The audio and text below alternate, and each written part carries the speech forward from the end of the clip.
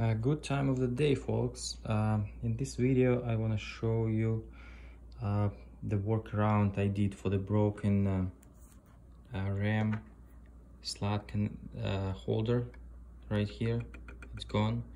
So this is the little workaround I did to to hold the memory module in place.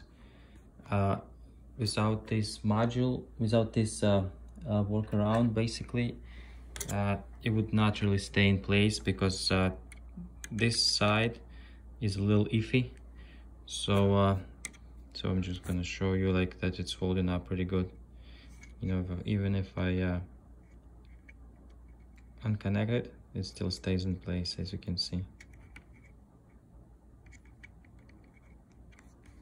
So uh, what I used for this little workaround is my just whatever I had laying around.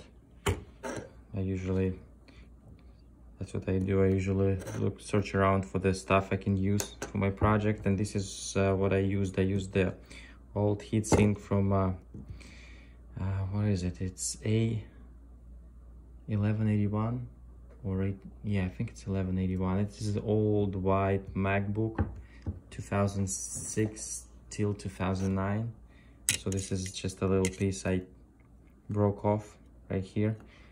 I uh, twisted it a little bit as you can see. And also what I did is I covered the end of it with the UV mask on top on the bottom and on sides just in case so uh, in case it touches any components on the RAM slot it's not gonna short out or anything like that. So as you can see I have a little uh, bump there with the UV mask. It's it's holding it pretty pretty pretty good on this on this little piece. But this is uh yeah I'm gonna show to you how how it's looking. It's pretty straight too. So this is just an idea uh, of uh, of an easy fix on for the broken latch because replacing this whole thing i don't know i never done it and uh, i'm not looking forward to do it.